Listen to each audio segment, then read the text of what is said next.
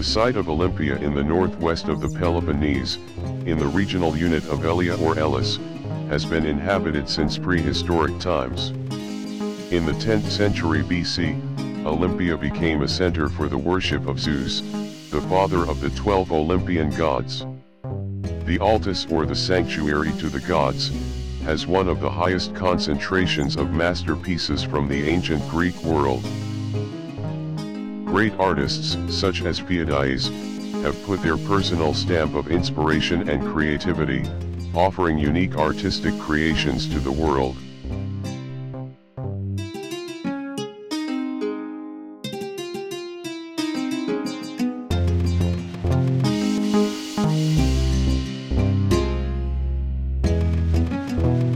In this universal place, the Olympic idea was born, making Olympia a unique universal symbol of peace, and competition at the service of virtue. Here too, prominence was given to the ideals of physical and mental harmony, of noble contest, of how to compete well, of the sacred truths, values, which remain unchanged in perpetuity.